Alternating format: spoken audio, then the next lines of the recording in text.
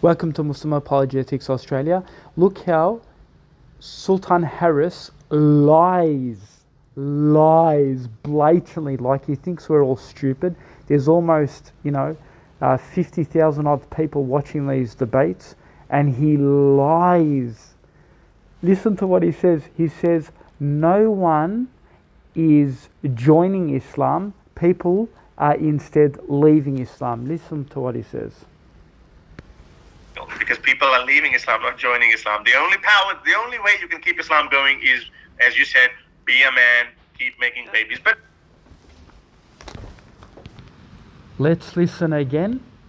I can see how my Hindus and Christian followers are like turning, they're, they're saying the Shahada, they're converting to Islam very quickly. So, you know, you need to look up the meaning of that dream will never come true, Daniel, because people are leaving Islam, not joining Islam. The only power, the only way you can keep it.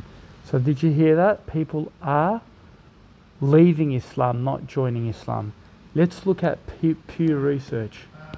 Harris Sultan actually quotes Pew Research. Let's look at Pew Research. It says, listen to this bit. Among those who have converted to Islam, a majority come from a Christian background. In fact, about half of all converts to Islam, 53%, identified as Protestants before converting. Another 20% were Catholic and roughly one in five, 19%, volunteered that they had no religion before converting to Islam, while smaller shares switched from Orthodox to Christianity, Buddhism, Judaism, and other religions. It then goes on to say, when asked, when asked to specify why they became Muslim, converts give a variety of reasons. About a quarter say they preferred the beliefs of teachings of Islam to those of their prior religion. And the list goes on. So, how does this guy appeal to Pew Research, which identifies that people are accepting Islam, and yet this liar comes on and says people are leaving Islam and not converting to Islam.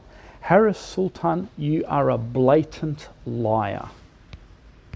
And I'll put the hyperlink below this here and you can see it for yourself. Pew Research, it titles The Share of Americans Who Leave Islam is Offset by Those Who Become Muslim.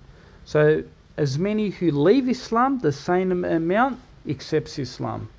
So, how does this person blatantly lie to the audience? It is beyond me.